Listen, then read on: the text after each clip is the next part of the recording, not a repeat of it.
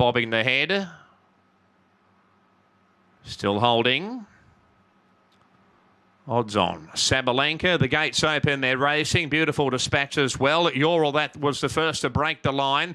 Swannick Boomer's handy. Going for there is Perfect Legacy, the outside. So Perfect Legacy now the leader. The second there is back near the inside is Ural, that and the favourite Sabalenka rolling forward. She's right up there.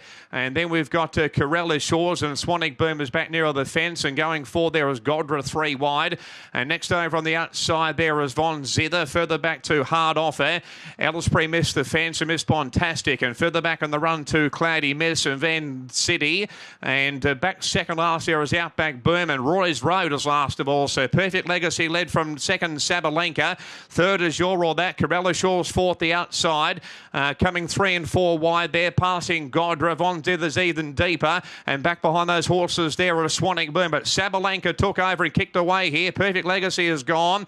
Uh, You're All That the inside's making ground. Corella Shores and Von Zither and running home as well as Outback Boom down the outside. But Sabalenka's still the leader, trying hard as You're All That. Sabalenka's in front from You're All That. Outback Boom is rushing home late, but Sabalenka's in front and Sabalenka. Sabalenka's one from You're All That. Outback Boom, followed by Corella Shores Perfect Legacy. And then Cloudy Miss and Von Zither, followed by Swannick Boom.